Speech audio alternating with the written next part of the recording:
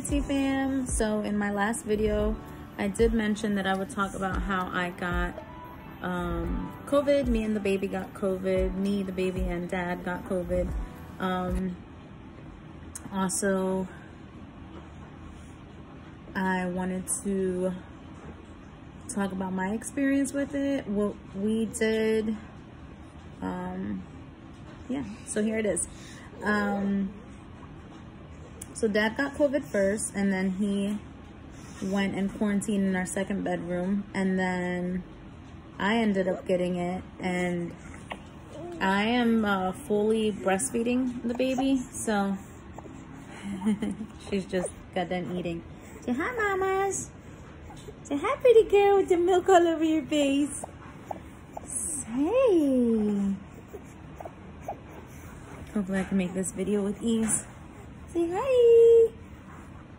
she just ate, so. Mm, my little full baby. Hey. I love you. Okay. Oh, Gassy girl. Sorry. So, sorry, not sorry. um, COVID and us. Uh, so I got a fever the first day. Actually, it started with him not feeling well, and then he's like, I'm gonna go sleep in another room just in case it's COVID.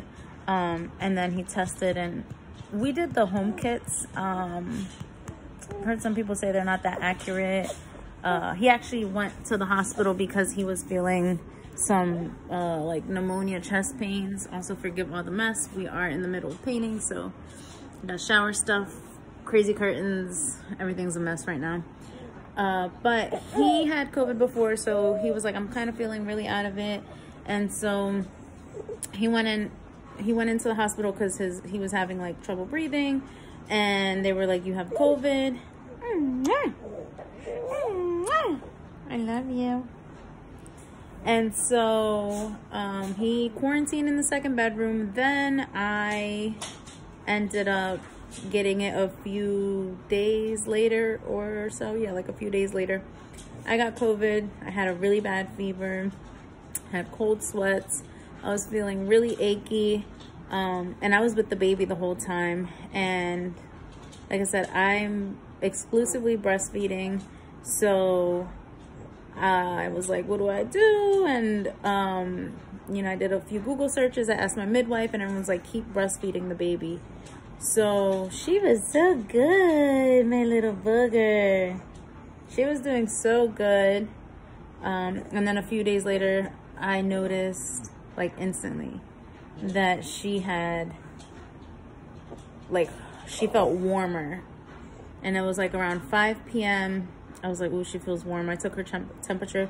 Usually she's at like 97.5 97.8 she was at 98.2 and i was like okay you know a little not a lot. It's not fever, but I was like, it's going up. Then I took it again like two hours later. It was like 99. And then I love you. I love you. And so then it was, um, by the end of the night, it was at 100. And then I was like, whoa, like, what do I do? It's going up. And then it hit 101.3. Now, um, every parent is different. My mom and my mother-in-law were like, take her to the hospital immediately. However, um, we noticed that she herself wasn't looking bad. Her feet, her temperature was high. She had a fever, but she was still laughing, uh, playing. And so I was like, okay, like she's not, hey, hey, mama. She's not completely out of it, you know? That's a baby. That's you. That's you, my lovey. So, um, my midwife said give her Tylenol or Motrin. So we went and we got some Tylenol, gave her some Tylenol every four to six hours, depending on if the fever is going down, and it was going down. Um, and then we gave her a cool bath, and I also kept a little like um, a little uh, bath what is it called? Washcloth, sorry. A little washcloth on her forehead. Um, and I made sure that if she was sweating in her clothes, I changed it. Now that first night was the worst of it, thank God. Um, I don't know how everybody else's experiences are. She got it when she was four months, four months. She's five months now. So I was freaking out a little because there's a lot of remedies that people are like, oh, you can't do that till they're six months. Um, and I was just like, oh my God, like, oh, is it gonna get really bad? Who knows? So the, the first day fever was the worst of it. We kept her on Tylenol for just that that uh 24 hours. Um and she did really good. She kicked its butt. She slept a lot. I kept breastfeeding her. So something great if you are breastfeeding. And if you're not it's okay too. But if you are breastfeeding um your body makes antibodies for it so it was helping her she was staying hydrated um you know and she really didn't seem like she was feeling really bad even with the fever, like after her little bath, um, she was okay. We did a lot of vapor, um, vapor rub. I always say vaporu. Um, vapor rub steams. Like they have these shower steams that they sell um, at CVS, Walgreens, Walmart. I can't think of what Target sells them too. And they're just these little like tablets. They're like about that big. You drop them in the shower and you let the steam run. There's also vapor rub um, like Epsom salt that you could put in the little bath. So we did a little bit of both of that. Now, I remember, and maybe some of you can relate, you know, uh, old school parents have little remedies. Put a little bit of vapor rub on the, vaporu on the chest and the feet and uh, cover the feet up with some socks and let the babies, uh, you know, when they're sweating it out, somehow that helps. Another thing that my aunt said, um, and I remember her doing this to me, was potatoes. Some people say onions on the forehead and the feet if the baby has a fever. Um, so little remedies like that you can try. Um, again, luckily for us, it was just one day of fever. And then you were a rock star. Uh-huh. After that, she um, had a lot of congestion. So we put humidifiers. We put two humidifiers. Um, our pediatrician recommended using eucalyptus, peppermint, or lemon in the uh, humidifiers, but not in them, sorry, like in a cotton ball, put the oils and then put them on top so you don't mess up your humidifiers unless you have a humidifier that can take oil.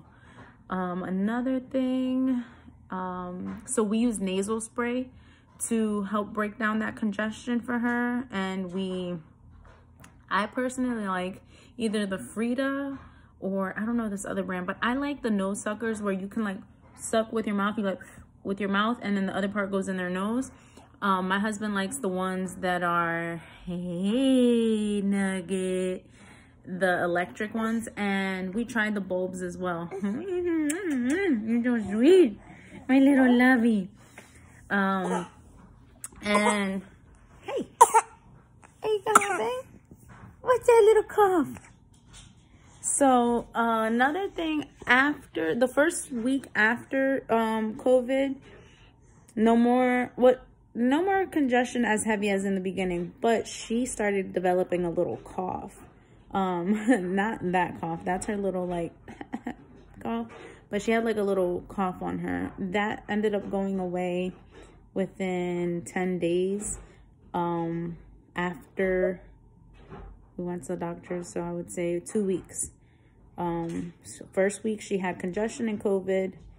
First day she had fever. Second week she had cough. And then two weeks after that cough started, it went away. So, um, you know, thankfully we're all good now. Uh, it's been a month since we've had COVID. She's doing great.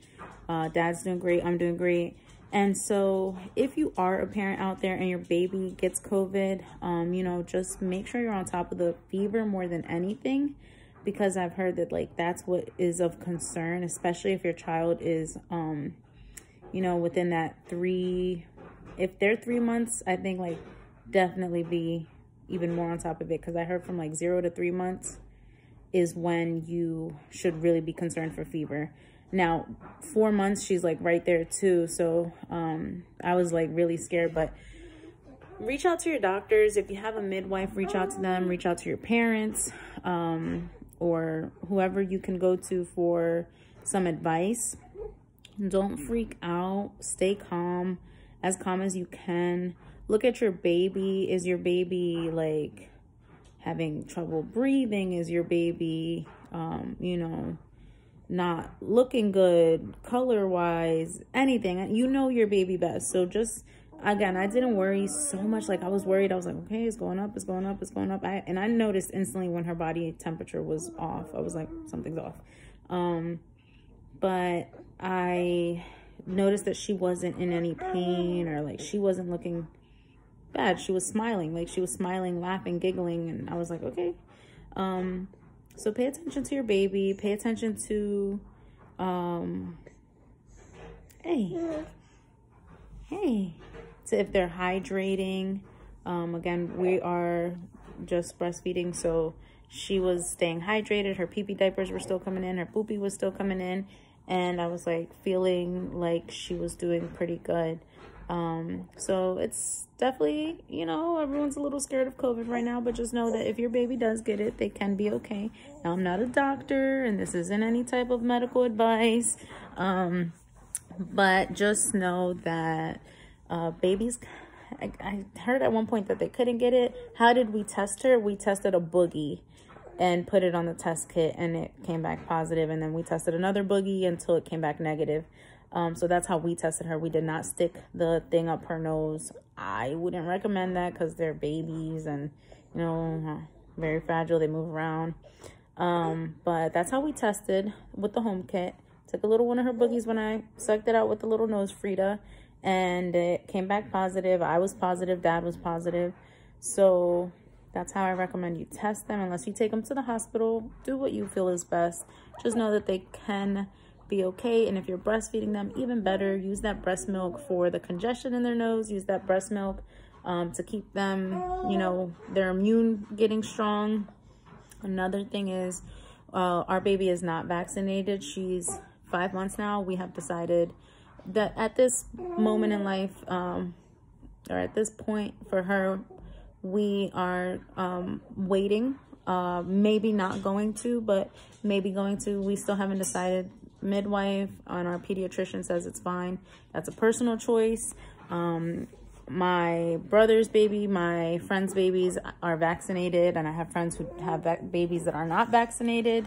Um, I don't recommend or not, I don't recommend it or not recommend it. I just say do your research and whatever's best for you.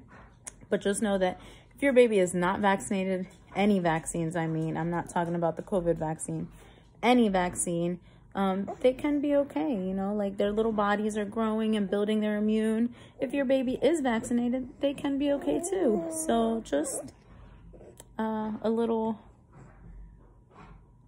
how do I say, a little share, a little story of ours of what we went through having COVID with our four month old who is now five months going on six and is um, as you can see she's doing really great um, she's she got through it we got through it and yeah best of luck if you do have it. Just stay hydrated uh, get a lot of sunlight get a lot of rest. I was resting so much me and her were resting. Um, and yeah best of luck to all of you. Stay safe out there.